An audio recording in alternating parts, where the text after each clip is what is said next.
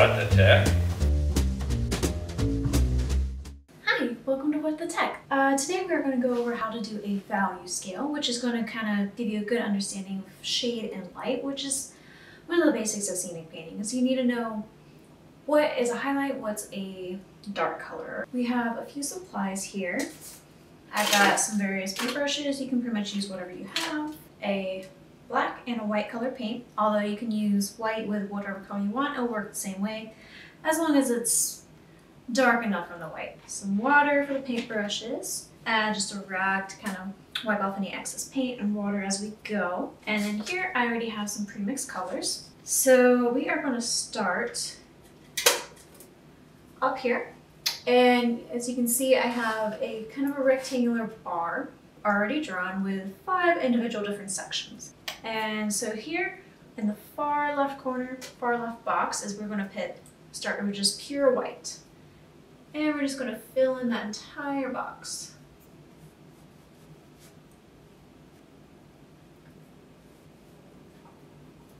And if the paint's a little too thick, feel free to dip your paintbrush in some water to kind of help the paint spread a little bit more on your canvas. Okay, we have the first block done. I'm going to put that paintbrush in some water for now. Now we're going to move on to the far right side, which is going to be your pure black or your pure dark color.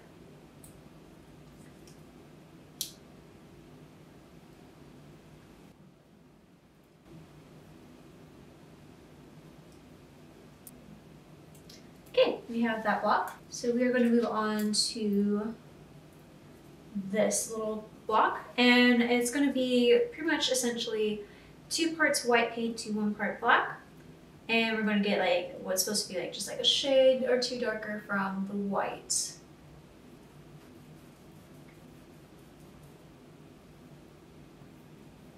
Okay, now we're going to continue down that line with this color, which is going to be pretty much um, one-to-one ratio to one part white to one part black. And this is kind of going to be a bit more of like your mid-tone color.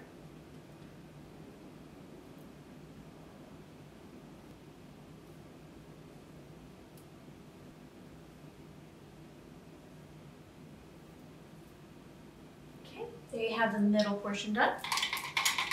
And now we're going to move on to the last box, which is going to be two parts black to one part white.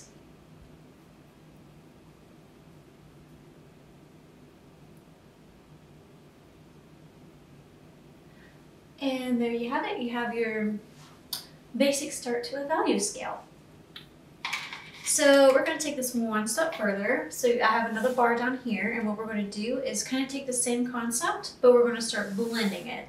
So we can kind of get a practice of how we can take these shade colors and give it like a nice ombre and just like kind of a fade in. Here I'm going to start with white in this area on the far left and kind of continue the same gradation. Here I'm going to be going like a little bit over here, a little bit further over than we did at the top. I'm doing a bit more of a wet blend technique, so I work kind of fast on it while the paint's still wet to give it a bit more of a softer gradation. So you don't see like stark lines or anything like that. So here I've started to put our gray that's in this block down here. And you just kind of work that into the canvas, dip a little water if you need to to help it spread. And you can see where it's starting to go into a gradation here.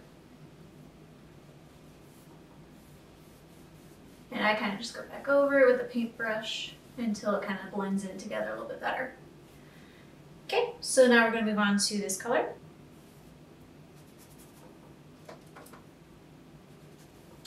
Get it in there.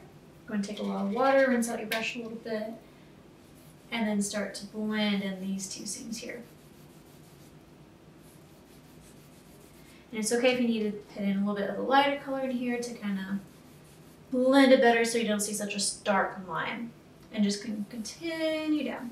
So here we're getting more into box number four, so we're going to get some paint. And add that in here. Rinse out your brush a little bit. And then start blending these two colors together.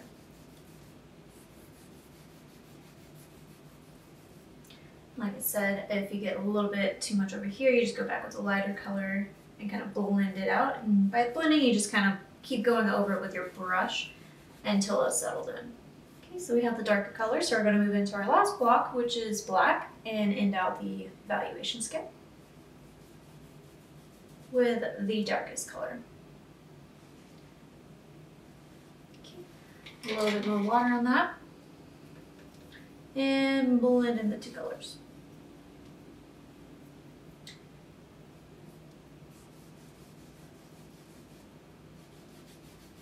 Now, if you feel like you have too much going on over here, you can take a new dry brush and kind of just also go back over it and it helps blend things out as you go down.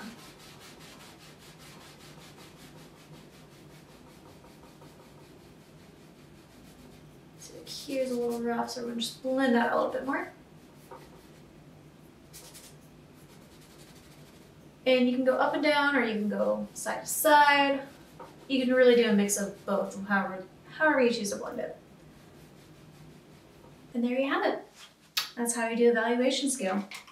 This is really a good like basis of what a lot of scenic painting is based upon because we do go from light to dark a lot, especially when we do like trompe l'oeils where it's like fools the eye. So anything that has like is a 2D painting that we want to make it look 3D, it all has to do with light, midtone, and dark colors. Thanks for tuning in. Have a good day, and I hope you check out the rest of our content. Hey, this is Dana Schultes, executive producer for Stage West Theater. I hope that you enjoyed our programming today. If it is something that you can do, please consider giving a gift anywhere from $1 to a million dollars, whatever is comfortable for you. You will be helping to keep Stage West healthy. And don't forget, during 2020, all gifts up to $300 are eligible to be deducted from your taxes. So take advantage. Thank you again for joining us. I hope you have a great day.